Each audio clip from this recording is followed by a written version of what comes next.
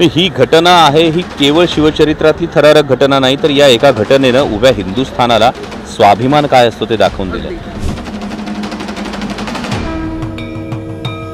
शांतपणे चित्रीकरण सुरू असताना त्या पर्यटकांच्या ग्रुपने ज्या क्षणी मला पाहिलं त्या क्षणी त्यांनी उत्स्फूर्तपणे घोषणा द्यायला सुरुवात केली छत्रपती शिवाजी महाराज की जय.